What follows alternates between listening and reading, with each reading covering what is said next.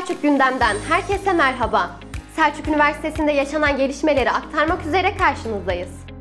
Selçuk Üniversitesi Tıp Fakültesi Hastanesi, Diş Hekimliği ile Veteriner Fakülteleri, tıbbi cihaz ve malzemelerin olduğu iki tırı Suriye'nin Aziz ilçesine uğurladı. 5.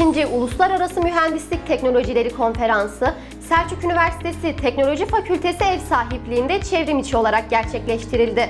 Konferansın açılış konuşmasını Rektör Profesör Doktor Metin Aksoy yaptı. Selçuk Üniversitesi Diş Hekimliği Fakültesi'nde 150 öğrenci 22 Kasım Diş Hekimliği Günü ve Toplum Ağız Diş Sağlığı Haftası dolayısıyla düzenlenen beyaz önlük giyme töreninde hekimliğe ilk adımını attı.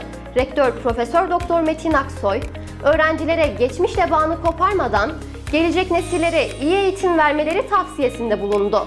Aksoy, beyaz önlüğün hasta bakma ve hekim olma yolundaki önemini de vurguladı. Selçuk Üniversitesi tarafından düzenlenen kanser tarama programları panelinde kanserde erken tanının önemine dikkat çekildi.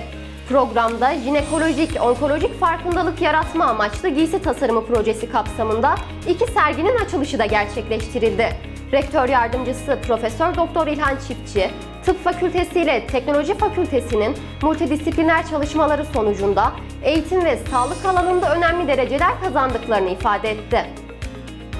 Selçuk Üniversitesi uluslararası öğrencilere yönelik bilgilendirme toplantısına ev sahipliği yaptı.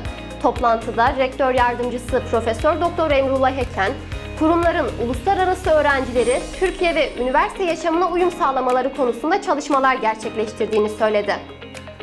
Selçuk gündemin sonuna geldik. Özeti sunulan haberlerin detaylı videolarını seratem.com veya sosyal medya hesapları üzerinden ulaşabilirsiniz. Haftaya Selçuk Üniversitesi'nden yeni haberlerle görüşmek dileğiyle. Hoşçakalın.